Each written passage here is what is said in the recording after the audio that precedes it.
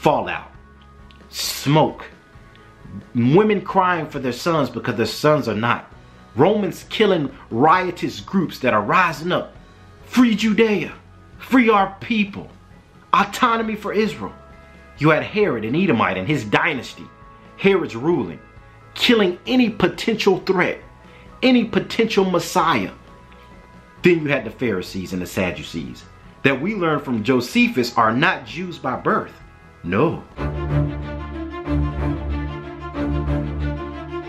What's up, BZ Dynasty? This is your boy, the man, the myth, and the legend, Mr. JB Zion. All praise be to the Most High, Yerubah, and Ephraim of the tribe of Joseph, of the seed of Jacob, i.e. your favorite dreaded Israelite, coming again with another banger. All praises.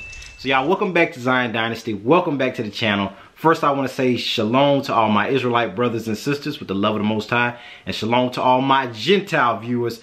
Peace, blessings, and prosperity to all of you. I love you all with the love of the Most High. So, today, you guys, as you guys already know, um, we are introducing our Black Power series, right? We're to go into the ideologies of the Black Power groups. We're to talk about Moors. Is there a connection? We're to talk about the Negro, the word Negro itself. And I'm to do a book review on the Negro question. I'm to show you guys. Where did I put that book? Yes, I'm to do a book review on the Negro question. Shout out to our subscriber and put that comment on the screen that asked for us to do that review, you guys. I'm to talk a little bit. I love the book, you guys. I read it cover to cover and I'm gonna talk about the word Negro, right? I'm gonna look at it being Spanish, Portuguese in origin and how it does bear a secret to our, our history as you guys have seen in the other videos about the Al-Andalus, our Iberian Spain connection of African Americans, the Moorish impact, right? And how the word Negro, because a lot of people say it's the same as just saying you're black, it's, it, there is a history to it, just like the word Moor. So we're gonna cover all that in the Black History series, you guys, the Black Power Group. Uh, I'm gonna do a video on the history of the Black Power groups. I'm gonna talk about Frank S. Cherry. I'm gonna talk about Marcus Garvey.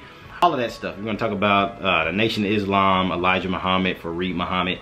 And then at the end of that series, we're gonna say, was there something in common that all of these groups had in terms of the statement they made with regard to our ethnicity?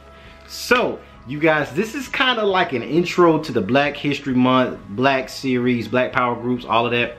Well, we're going to just be talking about what is Black History Month and is Black History Month relevant, right? I know in 2022 this is a big question because a lot of people are second guessing the concept. You have a lot of different states that are banning critical race theory. They're trying to do away with the narrative that um, race affects us today, right? A lot of people, a lot of people don't feel the way I kind of feel that to overcome something, you need to deal with it. Some people feel like that us focusing on the negativity of this country's history of racism, that all it really does is continue it. It, it continues this harboring of just bad emotions and hatred towards one another. When if we want to get past that, we not we don't we need to turn a chapter on that, right? I have the completely opposite viewpoint. I believe that there is a lot of history that our people have, right? And I'm gonna put some of these pictures on the screen and let you guys kind of look at the contribution that our people have made that I have not heard about, right? I went to a magnet school my whole life, went off to college. If y'all hear my baby screaming in the background, please bear with me, right? Them kids got the drive of ancients, right? All praise to the Most High. Um, but yeah, it's, and you guys, I just had one of the most excellent bills with one of my brothers. I might have him on the channel. Uh, that's my baby girl screaming, y'all. Um, Christian brother, he's like my bro. I'm not even Christian bro. I ain't even had to put that in. But my bro back from school, I didn't know his brother like since I was like 11 in junior high. Uh, amazing brother. I love that brother with all my heart, man. I was glad to be, I was just so happy to be able to reach back out to him and just talk and we chop it up. And it enlightened me. It showed me about us as Israelites, we need to step our game up. I'm just gonna stay it like that. There are a lot of, of um, our black Christians and bro brothers and sisters they hear what we're saying, but there's a lot of flaws to it. Like Christianity and its origin in terms of being a white man's religion. And I know I've said that, you guys, and a lot of other brothers say that. But there's a lot of clarification that has to go into that. A lot of stuff. But I just enjoyed the bill, guys. And I love that our people, and I'm the kind of person, like I'm open-minded into talking to any group of any person and whatever their beliefs are and us especially my people especially black people um, that's not to dismiss gentile brothers and sisters. Y'all understand my heart. But our people are in a restoration uh, season where a lot of this history is coming out. Our people are trying to uh, come up in terms of business and education and knowledge and identity and history. And with that uh, I just always pride myself in having opportunities to chop it up with my black, especially my black Christians, because I believe that we can come to a consensus that he being a Hebrew Israelite is not a code or is not a religious affirmation. And ethnicity is a code. Being a Hebrew Israelite is an identity based on ethnicity, based on history, right? We're making a claim about our lineage. Now, there's a lot of Hebrews and brews that I rock with. I got brews like it's so many, I ain't gonna name everybody on the channel. It's some that, that's on part of the channel, I ain't gonna put them out there like that. But it's brews I know that's purely New Testament. That believe in Christ's sacrifice for our people. Or Christ's sacrifice for the church and the believers. But know that ethnically speaking, they're Israelites. Whereas you have um, brews that are Old Testament only. And I can understand where they're coming from. And I can chop it up with them. Then you have brews that I heard were Muslim. You have brews that are atheists, right? Because we're making an ethnicity claim, not a set of religious beliefs. So it's, it's, it's diverse, man. It's iconic. It's diverse. But um, so that's why we're gonna do this video. We're gonna be talking about because when you delve into us being Israel, the glaring question is, does race matter, right? And I we are, I'll check out that video, does color matter, that I've already done earlier. All right, and I might do another one because you always got to kind of reinforce that kind of stuff. But does color matter? Does Christ color matter? Does ethnicity matter in 2022? Because when you look at Black History Month, it seems like it, it just harbors division, or some people, I can see why they see it that way. That all we're really doing is just focusing on what divides us along racial and ethnic boundaries versus what unifies us, right? But I argue that for a people to truly be engrafted into society, they must be wholly present. And when I say wholly present, I mean W-H oh whole. They must be made whole, right? There's a lot of aspects of our community that has not been made whole in terms of history, right? And that's why Israelites have the contention that we have because I'm fine with everybody being equal. But if we are truly going to be equal and we happen to be descended from Israel, if there is even a 1% chance of that, now we know how much history it is, but I'm speaking from a purely objective standpoint. If there's a 1% chance that black people are Israel, that means that needs to be wholly invested into, right? Because that goes into the restoration of a people. Now, as you guys see on these different pictures I'm about to put up, our people have made so many contributions. And not just the typical ones you hear about um, Martin Luther King and uh, Malcolm X and Rosa Parks and, and the stuff that you hear all the time. Every year you hear about the same people, right? You might hear about Thurgood Marshall or Jesse Owens or Jackie Robinson and this kind of thing. But there's so many inventors and scholars and Dr. Vivien Thomas and Oprah Hart, surgeons and, and just even Ben Carson, right? With the separation of the conjoined twins and, and a lot of this stuff you guys are familiar with. I'm just using these as examples that our people need that to be highlighted. Representation matters, especially in a society where there's sad to say so many negative stereotypical views of our community, right? So in 2022, we need Black History Month. Now, I have to say that because there are some states that are moving away from this stuff, y'all. I don't know if y'all been keeping up, but there's certain states that are trying to dismiss talking about race and 1619 and slavery out of the curriculum, right? Just trying to dismiss it out of the entire history curriculum. And we have to fight for our place, right? Because what we don't want to happen is to black people get caught up in a negative stereotype and we start removing the positive, right?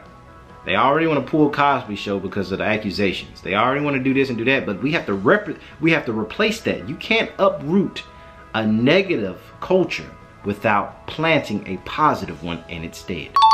And to all my Gentile brothers and sisters, it's all right if you say who we're not, but beware that you say who we are, right? You, you can't just take away something. You know, nature abhors a vacuum right? You have to feel that with a positive influence, a positive sense of self-identity. And, and with as much history as we have, you're not just going to be able to tell people that, okay, you're just, you're, you're God's, God's child, you're a Christian, right? Because as you see, there are Chinese Christians, there are Indian Christians, right, that still have a culture and a heritage and a family lineage that they can be proud of, and they're Christian. So we're asking, who are we as a people? A people that have had their records burned on multiple occasions, a people that have been degraded, right, have been told they're nothing, have been had all these negative stereotypes go against them. Who are we as a people? So that's why I feel like Black History Month, that's why I'm gonna go hard into this series, y'all. Defining the word Negro, right?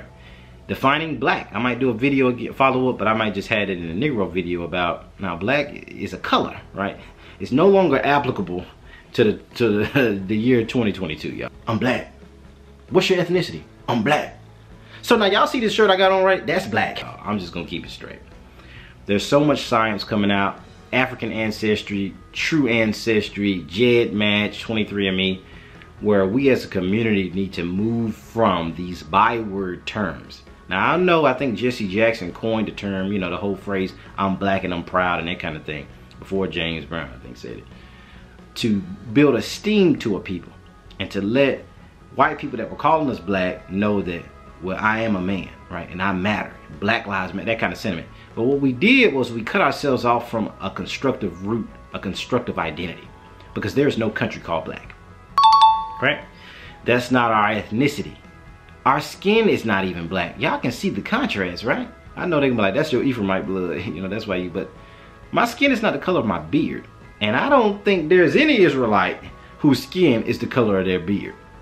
Jet black, right?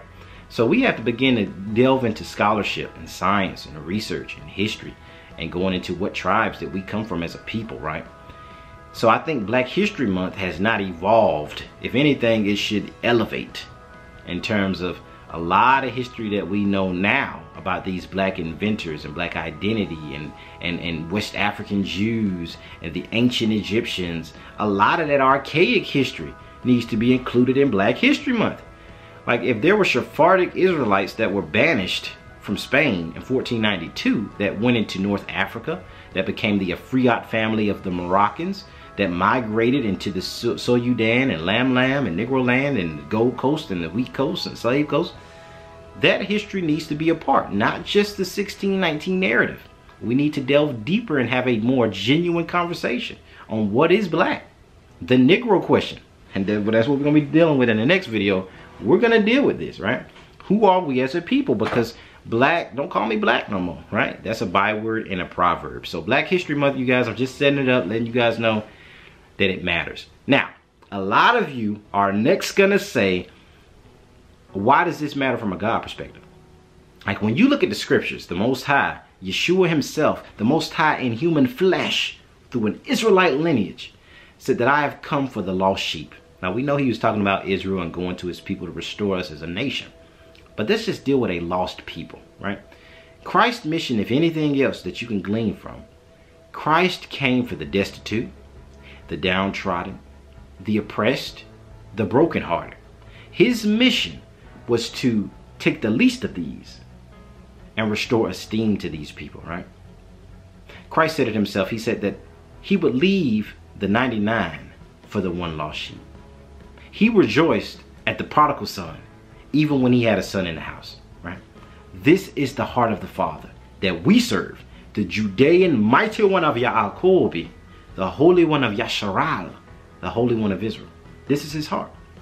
So if we say we believe in this God, then from a biblical standpoint, if we see a segment of humanity, right, that lies hanging the balance, right, that are almost an endangered species, that suffer a cruel, vicious cycle of police brutality, and we believe in the God of the scriptures, we should, if anything, make that people the priority. Paul said it like this in a mystery. He said, the member that's least esteemed should be given the most honor. And if our people have had our history stripped, our language and identity destroyed, the number one consensus, the number one uh, course of action should be directed towards these Israelite descendants, these these so-called Crayola color black, or two continents slapped together African American, right? So that's why Black History Month matters. And that's why we're gonna go deeper into this subject, y'all. And we're gonna deal with the Negro question. We're gonna deal with the Moorish question. We're gonna deal with the Kemetic question. We're gonna deal with Al Andalus. We're gonna deal some more with the Yoruba, the Bani Ephraim, the Igbo, the tribe of Gad. We're gonna deal, right, with all of these different terms and we're gonna get to who are we and we're gonna look at our different black leaders um, and see what input did they put into the struggle and the liberation of our people. Because in the salvation of the black man is the liberation for all nations and the world itself. So with that, y'all, peace, love, and black power to the chosen race of the Most High y'all. We the people, y'all. And I'm excited. We getting ready to go into that Black Power series. Let's get it. Shalom. All praises.